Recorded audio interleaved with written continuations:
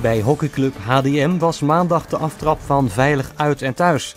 Veilig Verkeer Nederland vraagt daarmee aandacht voor de grote hoeveelheid ongelukken met kinderen rond sportclubs. Voormalig profvoetballer Giovanni van Bronckhorst gaf het goede voorbeeld. Hij fietste samen met de hockeyers naar de club.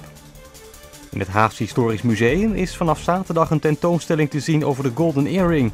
De bekende Haagse band bestaat dit jaar 50 jaar. Het beginpunt van de tentoonstelling is het jaar 1961, toen onder andere George Kooijmans en buurjongen Rinus Gerritsen een bandje oprichtten. De tentoonstelling heet Golden Earring Back Home. ADO-voetballer Wesley Verhoek heeft maandagavond de zilveren schoen gewonnen. De Hagenaar eindigde daarmee achter Theo Jansen.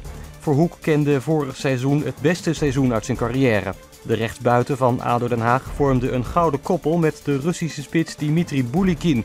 Mede dankzij de inbreng van Verhoek plaatste ADO zich voor Europees voetbal.